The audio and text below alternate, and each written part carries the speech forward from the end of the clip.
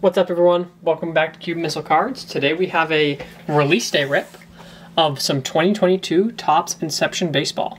Um, this comes out today, grabbed it at a local hobby shop. Um, obviously chasing that Wander Franco. It's a tough rip. You've got one autograph per box. I think it's seven cards per box. Yep, so seven cards. Really hit or miss product. Um, but if you can hit that Wander, ooh, you are, you, you're doing well. So we'll see what we get. Um, each box, as this says, let's get this to focus for you, has one autograph or autograph relic card per box. Um, I think there's going to be one numbered card as well.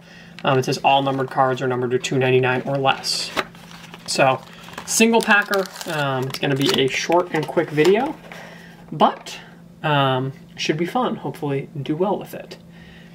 So without further ado, actually first let's look at what our pack odds are. So get this up here. So if you want to pause that video to look at this. Um, generally, I think every pack does have some sense of a numbered base card. Um, just as a matter of which one you get. Um, obviously, it's really hard to hit this. You can also look at this compared to last year's product. Last year's um, was a $130. I think this year retail is like 180 So definitely they're raising the price. They know that Wander Chase is real. Um, they know that people are really wanting that Wander. So you never know. We could get lucky. We're probably not going to get lucky, but we will see. So without further ado, let's jump into it. Just grabbing a spacer, a Wander Franco spacer actually, so that we don't spoil all of our cards. Zoom in a little bit as well.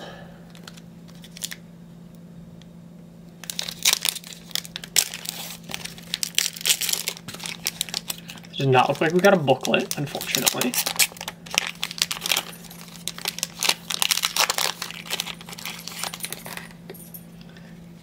So I have no clue what the order here is going to be, but so we're going to start off with Josh Rojas. So this is the design. Kind of, it's different than last year. It's a little more modern with some of those geometric shapes. Um, that's the back of the card. That just a base? Our next card is going to be Alex Bregman. And I did see that our auto was next, so I'm actually going to save that for last. So you've got a green Cody Bellinger.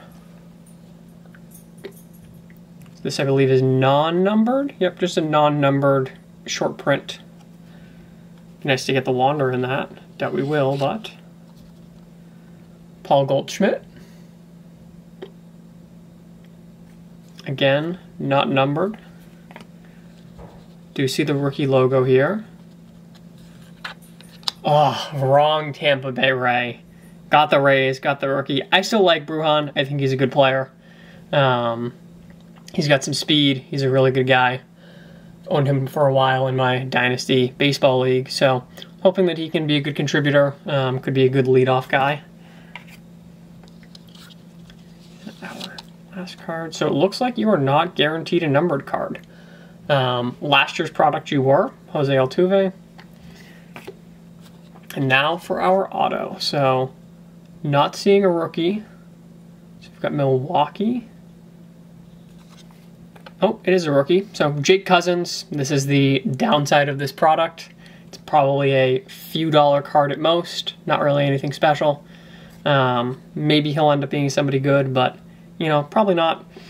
Definitely happy with the Vidal Bruján, but, you know, really tough rip to basically looking at your hits out of a $185 box are really those two cards. Um, no numbered card outside of the auto. Um, definitely a tough rip. So it's a fun product. I probably won't be ripping more of this because I can't really afford to rip more of this, but you never know. It's always worth the chase because, as I said, if you hit that Wander auto, um, or even just a Wander rookie, it'd be a solid hit. But unfortunately, we had out of box, got trolled a little bit with the Bruján, Tampa Bay Rays rookie. Ooh, tough. But thanks for tuning in. Um, we will catch you on the next one.